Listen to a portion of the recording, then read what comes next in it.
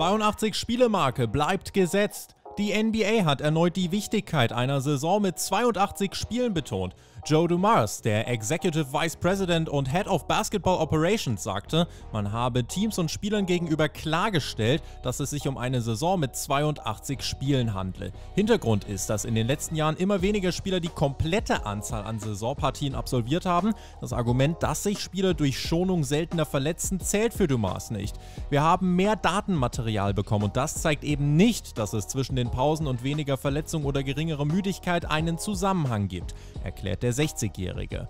Das sogenannte Load Management ist in den vergangenen Jahren zu einem Trend bei den NBA-Teams geworden. Daher hat die Liga im neuen Tarifvertrag auch festgelegt, dass Spieler 65 Saisonpartien absolvieren müssen, um für Awards zugelassen zu werden. Ob diese Regel Früchte trägt, wird sich im Laufe der kommenden Spielzeit zeigen. Haftbefehl gegen Bridges. Miles Bridges hat erneut einen Haftbefehl gegen sich erhalten. Diesmal geht es um die angebliche Verletzung einer Schutzanordnung in Bezug auf seine Freundin. Laut dem Polizeibericht soll der Forward der Charlotte Hornets eine Scheibe eingeschlagen haben.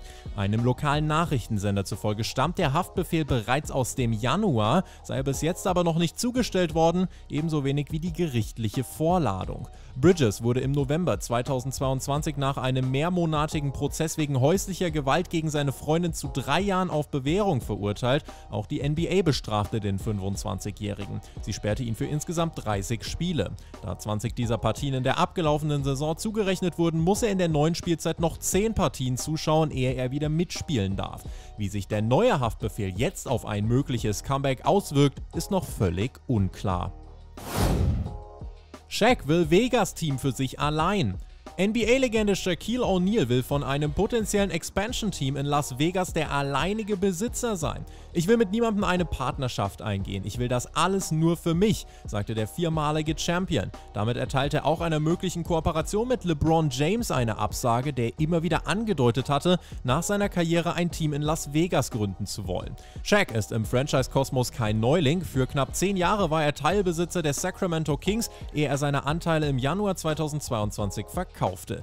In Las Vegas wohnt der 51-Jährige seit 20 Jahren und hat noch viel vor. Ich war Besitzer einer der beliebtesten Clubs, habe ihn verkauft und besitze nun 9 bis 10 Restaurants hier. Bei mir läuft es sehr, sehr gut und ich möchte weiter wachsen mit Vegas, erklärte O'Neill. Las Vegas selbst ist in den vergangenen Jahren zu einer großen Sportmetropole geworden. In den letzten Jahren begrüßte die Glücksspielhochburg mit dem NFL-Team Las Vegas Raiders, den Vegas Golden Knights aus der NHL und der WNBA-Franchise Las Vegas Aces gleich drei neue Sportteams.